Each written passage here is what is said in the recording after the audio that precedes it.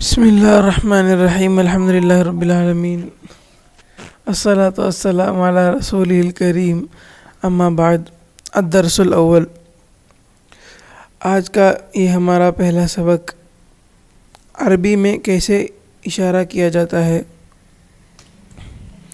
अरबी में कोई भी चीज़ को कैसे इशारा करके कहा जाता है या पूछा जाता है तो सबसे पहले करीब की तरफ़ इशारा करने के लिए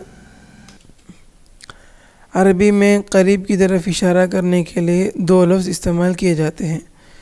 मैस्कुलिन मुजक्कर हाजा और फेमिनिन के लिए जो मोनस है हाजी ही और फिर ये करीब हो गया। करीब के लिए दो लफ्ज़ हो गए। अब दूर के लिए।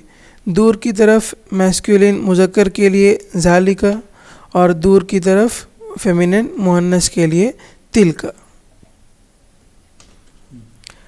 अब हम हाजा, जो कि मैस्कुलिन मुजक्कर के लिए है, उसके ताल्लुक से आज हमारा सबक होगा। अब हाजा का माना है ये, और बैतुन का माना है घर।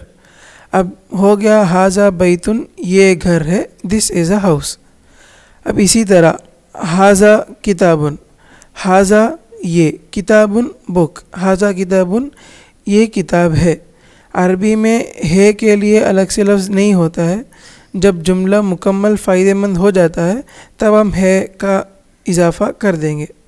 इसी तरह हादा मस्जिद ये मस्जिद है दिस इज़ अ मॉस्क हाजा कलम ये पेन है दिस इज़ अ पेन हादा मकतबन, ये डेस्क है दिस इज़ अ डेस्क हाजा मफ्ताहन, ये चावी है दिस इज़ अ की इसी तरह सब अल्फाज के लिए किया जाएगा।